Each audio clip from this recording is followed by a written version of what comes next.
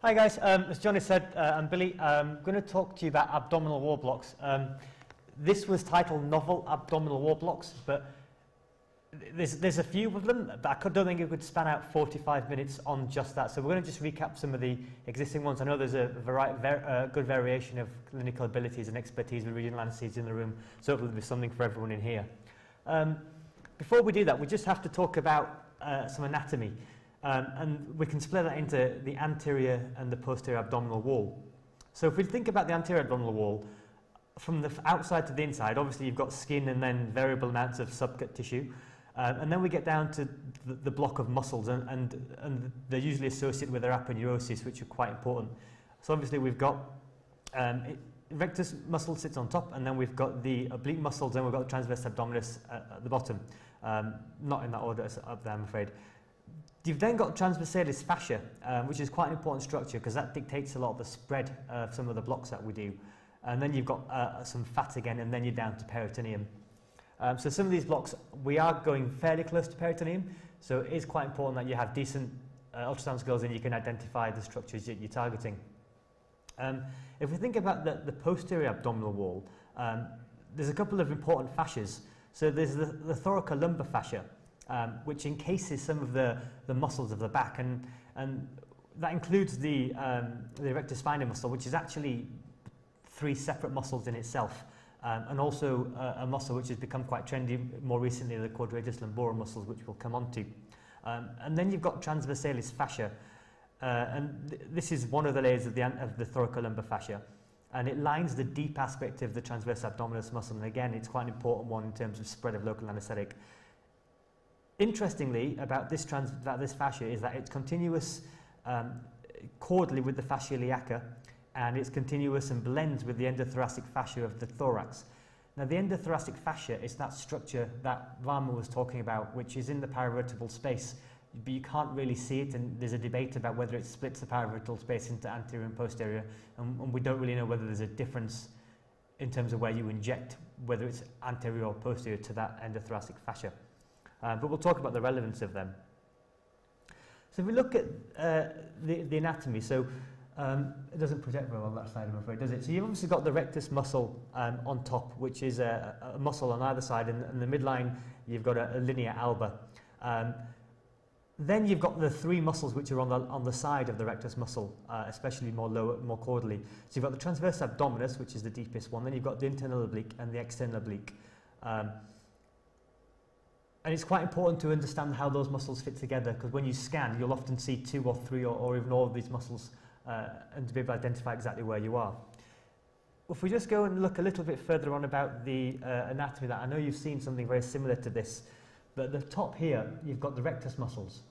Uh, and just under there, you've got uh, posterior rectus sheath, and then you've got transversalis fascia, and then you've got some fat, and then the peritoneum. As you come round to the side, uh, the, the, the three muscles, the, uh, the, the, the internal oblique, transverse abdominis, and the external oblique, uh, move laterally into aponeuroses. Um, so the aponeuroses, and then they move into the muscles as they come round here. Some of the nerves run bet between these layers, and we're going to look at that in another slide. Down here is the area of the posterior abdominal block, so these are the muscles of interest.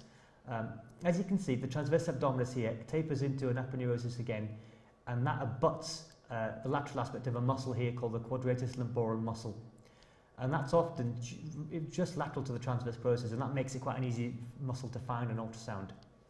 Anteriorly to that, you've got a big uh, muscle, which is the psoas muscle. And behind that, you've got this group of muscles here, which is the erector spinae. And then sometimes you get the lat dorsi muscle on the side as well. If we look at that in terms of anatomy, um, this is a, a section obviously down in the probably L3 region, or maybe a bit lower because we can't really see my kidney here, so we're probably quite low here. Um, this is the big psoas muscle, this is the quadratus lumborum muscle, and this is the erector spinae group. And that is termed the sort of shamrock appearance, uh, and we'll see that on ultrasound as well. And again here we've got the rectus muscle and the three muscles of the lateral anterolateral abdominal wall there. Other thing that's important to know about is the vessels. Um, and within the, the transverse abdominis plane, so that's between transverse abdominis and internal oblique, there are there is a rich network of vessels, and that has an, uh, an impact on how much local you can put in there and the, and the absorption rates of that local anaesthetic.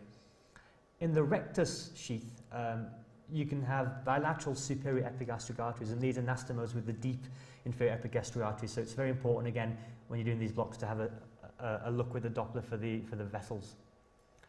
The, the important bit's the innervation, isn't it? So anterior abdominal wall um, is basically supplied from the anterior or ventral rami of the T6 to T12 um, spinal, uh, nerve roots, which are obviously called the intercostal uh, nerves. The T12 nerve is also called the um, subcostal nerve. And then you also have the ilioinguinal and the iliohypogastric, which come from L1. And uh, they, they obviously traverse the, the muscular layers and they, they uh, part of their course run very close to the anterior spine of the, of the, of the pelvis. Um, the intercostal nerves themselves continue, they come from the intercostal uh, space, they enter the abdomen in the tap plane and they give a lateral branch. And then the rest of the nerve carries on anteriorly, perforates the rectus and ends in anterior branches. So this is the picture that we've got again. Um, so you've got, up here you've got your, your spinal cord obviously, and then your dorsal and ventral nerve roots, uh, your dorsal root ganglion, and then here your, here's your spinal nerve. So here's your, your, your, your, your dorsal root, which is, supplies the skin and anterior structure, uh, posterior structures of the back, and then your spinal nerve continues around here. This is the sympathetic chain coming in, and this is the area of interest of the paravertebral block that we talked about earlier. The uh, anterior ramus comes round here, and you there's a, a lateral branch, and then this is the anterior branch which comes round up here. So again, another picture just to demonstrate that. Uh, this would be the area where you'd be thinking about your paravertebral block, uh, but you, this is the, the posterior uh, costal nerve, and this is the anterior one which travels. And you can see here, it's traveling between the transverse abdominis muscle and the internal oblique muscle. And in the lateral aspect, it's perforating those muscles to give a lateral nerve branch, which actually supplies the cutaneous of quite a long area of skin here. The, the continuation of that intercostal nerve comes through here and it pierces the rectus muscles to give the anterior cutaneous nerve in the abdomen. Again, just some pictures. So this is how they all come down. This is 7, 8, 9, 10, 11. This is subcostal nerve 12. And notice that the anterior branch of subcostal nerve actually comes fairly way down and it can sometimes get down onto the, the, the top of the thigh. Um, and these are the anterior branches perforating the, the muscles and the rectus muscles and supplying the cutaneous abdomen at the front. Just another view of the same thing. Uh, and you can see here the ilioinguinal, the iliohypogastric nerve from L1 root, how they run very closely to the, uh, to the, to the iliac crest. The three uh, original blocks that most people will have heard of, or maybe two that most people will have heard of, was obviously the rectus sheath block. And this is the sort of distribution of, of sensory anesthesia you might get. Uh, obviously, it's midline only because all you're doing is blocking those anterior cutaneous branches. Then there was a, a modification of the, uh, then there was obviously the tap block, which is, uh, gets you this sort of lower umbilical, umbilicus downwards, this sort of area. Obviously, uh, you, you're not going to get as far around as the side, but you'll get a fair amount of the front and, and the anterolateral area. And there's a modification of the tap block called the subcostal tap block, uh, which as uh, you know, it's claimed gives you a sensory area uh, distribution of this sort of area because you're not going to get up here with a, with a standard um, low tap block. So rectus sheath blocks, um, again, it's anterior cutaneous branches, it's midline anesthesia. Uh, and basically what you're doing is you're putting a local uh, between the rectus muscle and the posterior rectus sheath. And you've got to do this above the umbilicus because the posterior rectus sheath is defunct below the arcuate line, which is around the level of the umbilicus. So it doesn't exist back there. You've, you've, you've just got transversalis fascia, fat and peritoneum. You haven't got the posterior rectus sheath below the umbilicus. Obviously, we've talked about the arteries that are, that are there in the rectus sheath, which you have to be very careful of. Uh, and for midline laparotomy, you'll need bilateral injections. Uh, what this block is really handy for is catheters because it's a, a very nice plane, you can open it up and you can very easily thread in a straight catheter into that, into that plane. So this is what it kind of looks like. Um, this is obviously the rectus muscles, and then you've got your, uh, your little vessel in here, or a catheter in that case, so this, this is a catheter on this diagram. Uh, and this is the fascia transversalis, which we mentioned separates uh, the fat and the peritoneum from the rectus muscles. And this is your, uh, your rect rectus sheath uh, surrounding the rectus muscle. And the midline is the linea alba. So an ultrasound, if you scan it, um, I think this is a transverse scan. You can see here you've got bowel. There's peritoneum and bowel under here. And here is your posterior rectus sheath. And it looks like a tramline appearance, which, and that's what you're kind of looking for. This is a rectus muscle. This is anterior rectus sheath. And this is skin and fat, fat and skin up there. So the idea is uh, you get your anesthetic just between the muscular tissue and that bright line there. And you'll, when you do it correctly, you'll see a very nice, clear pooling of black local anesthetic between those two. The tap block um, is quite interesting. It's had multiple um, reinventions over the years, uh, starting back from the sort of uh, of Petit approach um, and then becoming ultrasound guided techniques and then now we're seeing a, a sway back to the original sort of idea with the QL blocks and things. But um, essentially the, a, a standard tap block, you only really get lower um, abdominal uh, sensory loss. So T10 to 12 lateral branches, and you might get ilioinguinal hypogastric. Interestingly, there are some uh, blocks that rely on spread um, within the, to up to the thoracic paravertebral space, which are related to the tap block. And tap block can even give you spread up to the thoracic paravertebral spaces. Um, and you may even get up to T10, but this is not, I wouldn't say this was widely seen in practice. Uh, and you probably need quite a lot of volume to get that high. Uh, but that's because of the spread between the transversalis fascia and the anterior surface of the quadratus lumborum muscle. So this is the tap block technique. Um, rectus muscles up there, anterior cutaneous branch of the intercostal nerve or the anterior root. Uh, this is the lateral branch, and this is the transverse abdominis muscle. This is the internal oblique muscle. Uh, what you're looking here is you put your probe on fairly laterally, uh, even a bit of posterior, posterolaterally if you can, and you'll get sort of Oh, this is, this is Jonathan's slide, so sorry. there we go. That's where you're trying to get your needle and put your local anaesthetic. Uh, and this is the sort of view you would get, uh, starting at the top, subcut tissue, external oblique, internal oblique, transverse abdominis. In this person, all the muscles are nice, chunky muscles, and they're easy to see. Peritoneal cavity, and then you've got bowel down here. Um, and the idea is that you'll come in uh, and get your local anaesthetic uh, just in this plane here. Just like that. This was um, some work done uh, to look at the spread of anesthesia from a tap block, and I think these were all, um, I'll just check, I think these were all standard tap blocks that were done. Um, the cutaneous block was measured 90 minutes after a unilateral ultrasound-guided um, posterior tap block in 20 study volunteers, and this is the pattern of anesthesia they've got. So as you can see, it does vary quite a lot. Um, this person's obviously gone down onto L1 here, um, but if you look at the top the, the, the cranial extension, it's never really that high, is it? It never really goes much higher than the umbilicus. So you're sort of limited to that. And that's what makes it good, for example, for um, cesarean section uh, incisions. The subcostal tap um, was designed to try and get around this problem of cranial extension of the block. And it, it's, mentioned, it's said to get up to T6 to T9. Um, and the, the, problem is these enter the tap medial to the anterior axillary line. So at the level of the costal margin is where you're going to put your ultrasound probe to do this. And the tap the TAM muscle, the transverse abdominis muscle, is actually deep to the rectus in this position. So it does look slightly different uh, to the other blocks that we do for tap, the other approaches to the tap block. Um, here is a picture of someone doing some tap blocks. So this is the uh, traditional lateral tap block uh, between the costal margin and the iliac crest. Uh, and to get that same picture that we talked about last time. This is the subcostal modification. Uh, and here you can see you've got your rectus muscle and you've got uh, your peritoneal cavity and your transverse abdominis muscle sitting uh, just below it.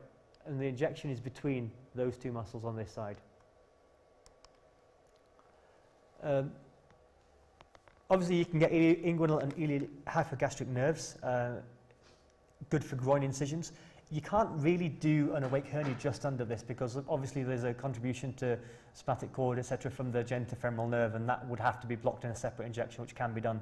Um, so if you're doing this for an awake hernia, the surgeon will still need to infiltrate local anaesthetic uh, once they get further inside.